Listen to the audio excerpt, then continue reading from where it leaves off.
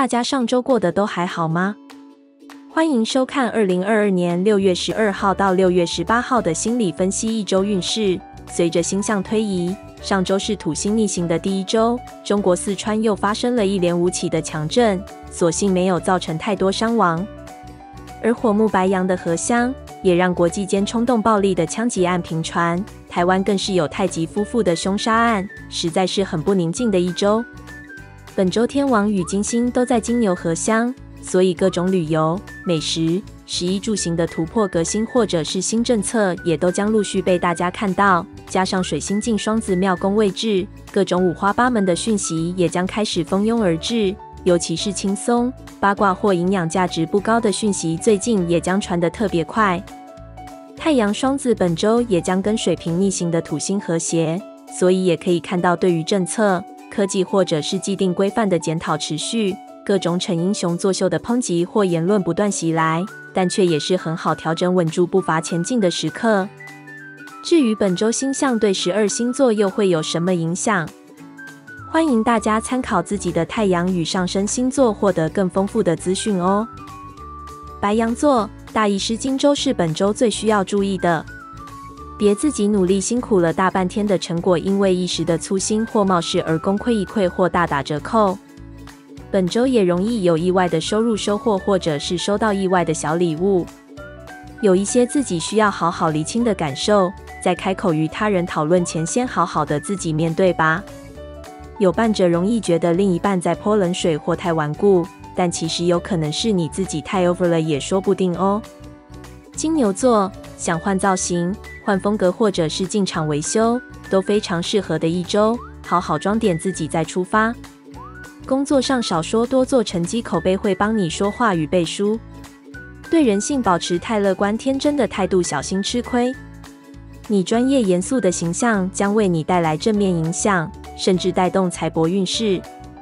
爱情方面，靠物质或甚至肉体性爱是换不到安全感或承诺的，但它却会无形中让人际或爱情互动变得复杂难解。双子座很容易带起话题与纠团，但相对的树大招风，也容易招引来不少较情绪化的人。得不孤必有邻，稳住自己，别随之起舞。也深感命运、业力、灵性或精微能量的奇妙跟不可思议。或许会有让你感觉仿佛是前世有缘的人，或者是旧爱突然跟你有交集，会听到他们的消息。面对权威、社会压力、舆论，与其试图解释，不如自省，以免多说多错，自打嘴巴。巨蟹座把想法、决定都埋在心里，只是一味往前冲，反而事倍功半，或是造成误会。多花一点时间沟通，也多了解主流意见。对于你处理事情或做决定很好的参考价值。本周人际与爱情互动方针秉持谨慎小心，先试探再靠近的节奏。最忌讳装熟或者是把事情或对方想的理所当然，更千万别打着为你好的旗帜，这些都可能造成反效果哦。狮子座。本周如果有在众人面前表现自己或报告呈现的机会，请好好把握，容易一鸣惊人，也可能为自己的前途形象加分。差旅、考试或者在法送事务，容易因为粗心大意、过度乐观而吃亏。本周的人际或爱情互动上，都格外适合讨论一些实际或比较正经专业的话题。除了对关系或者是探讨主题有收获以外，当然，对你的形象好感度，尤其是别人对你的信赖度大加分。处女座本周在宗教信仰或者是哲学上将让你有新的领悟，也可能经由旅游或与教授、师长、上师交流，让你醍醐灌顶。有法送、考试或国际跨部会事务繁忙者，本周突飞猛进，如虎添翼。人际或爱情互动上，别被冲动冲昏头了。尤其你容易表面风平浪静，心中波涛汹涌，这种情况下更容易做出错误的决定或选择。与其如此，还不如表里如一，待之反而会让发展更顺畅。天秤座本周贵人运或合作机会资源持续看涨中，有好人脉、好资源就千万别松手。你的才华与能力本周在师长引领下将感到稳健踏实，甚至逐渐从中获得自信与成就感。本周人际爱情互动上易流于感性诉求，但对方很容易自以为正义或自我为中心而不领情或让沟通困难。本周的约会或者是互动，即便对方热情洋溢，都依然容易带有拘谨甚至严肃的氛围。天蝎座，工作或理财投资上，请小心过度乐观或粗心大意而招致的损失。也请留意冒失或天兵的晚辈与下属在工作的表现。健康方面，也留意身体与心理过劳的后遗症或影响。与家人或关于家族议题或房产财产方面，有了实质的规划或进度。